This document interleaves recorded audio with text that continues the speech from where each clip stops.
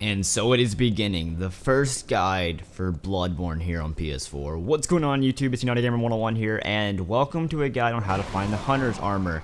Now, like I've said before, this game has not provided a strategy guide until a month from now, so these guides are going to be so hard to come by.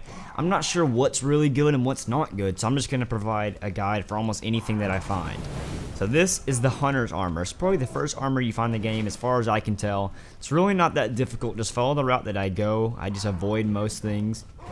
It is in the very first little world you go to. So follow this route and you will come across this armor. It helps you a lot in the beginning because it increases your defense by a good bit. You're still light on your feet. And you'll probably need it against a boss to help you. And it'll save you some blood echo so you don't have to buy it in the little hub world Hunter's Dream. So basically just follow this route that I'm going and you'll find it pretty easily. Just make it to the first lamp and then go right and you should be able to find this pretty easily.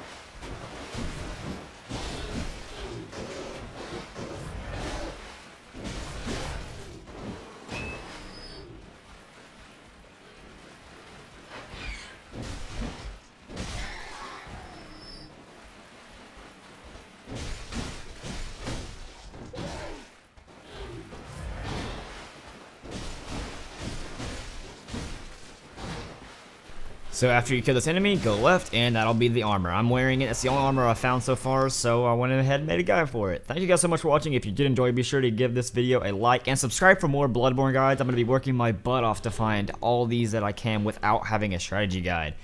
But as always, to be Gamer 101 here, remember at the end of the day, gamers unite. See you guys next time.